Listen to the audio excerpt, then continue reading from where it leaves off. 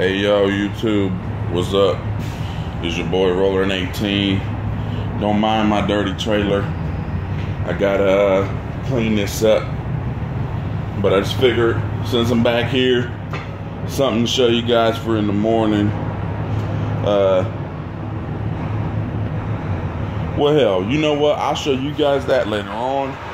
Let me show y'all this here right now. This here, my friends, is my new best friend. This thing right here is pretty heavy. I ain't gonna lie, it probably adds about, I don't know, maybe 100, 200 pounds to the trailer. But I'll take that. But I put, oops, excuse me, my little contraption here fell. But I'll take that extra weight over the fear of that coil rolling at me be because I mean, as long as you keep this right up on that coil, that coil ain't gonna move. Look at that. That coil is not gonna move. I got 20,000 pounds holding it, 10 holding it down, and 10 kind of back toward the coil. So that way, just in case it, it just breaks through that. But I mean, it really doesn't have any way to break through that because it's not gonna pick up no momentum. The last guy, he had it about right around in here, which, I mean, it's not bad, but that's lazy because he kept it there cause, so you won't have to move it or nothing. Because if I pick up three coils, like three small ones, then I'm gonna have to move this one right back to where it was because, uh, heck, I mean, this is basically center on my trailer. When I pick up three coils, I'm gonna keep keep the middle one right here, my heavy one and then I'm gonna put the second heaviest one directly behind it, and, and then the light one straight in front of it. But anyway, this is what this looks like, just in case you want to build one for yourself, because that's what TLX did. It says TLX on it right there, but that's what they did. They built this out of some pretty solid steel right here. I want to say this is all a well, heck, I don't know. It doesn't sound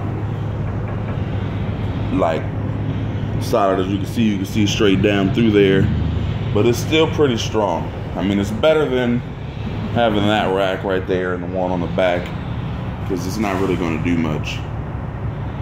But uh, this is my new best friend.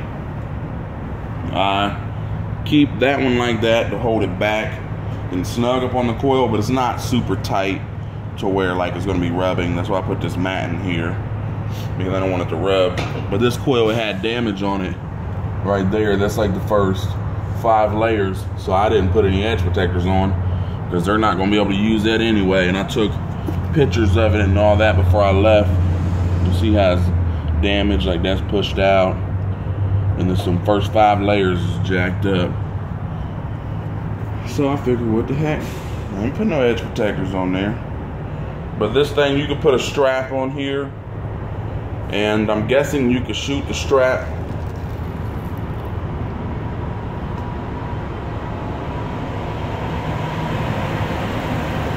Yo, I just heard the weirdest sound on top of my trailer. It sounded like somebody was standing up there peeing.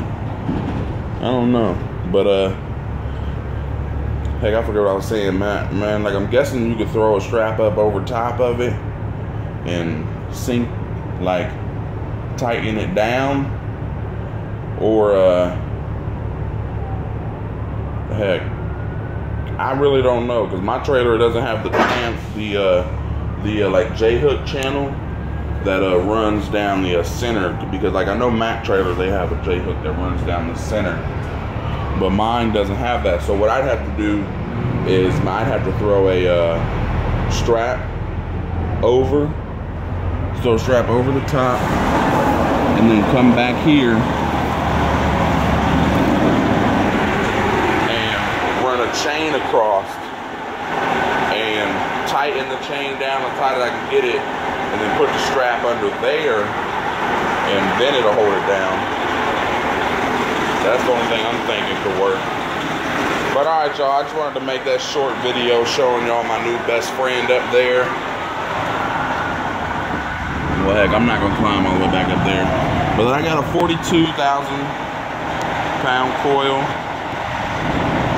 And uh, my load is, uh, well, heck, I forget what I was saying. I keep, I don't know why I keep doing that, but I got a uh, 42,000 pound coil, and I got six chains on it and six binders. Well, technically, technically it's three chains because this and this is one chain, the middle one and that one is one chain and then so on and so on. But you got six binders on this side. Just as long as you could do it and have this free chain between each one droop down like that, then that's okay. But all right, y'all, let me tighten these back down and hit the road. I'm southbound and down, going to uh, Mississippi. Take care.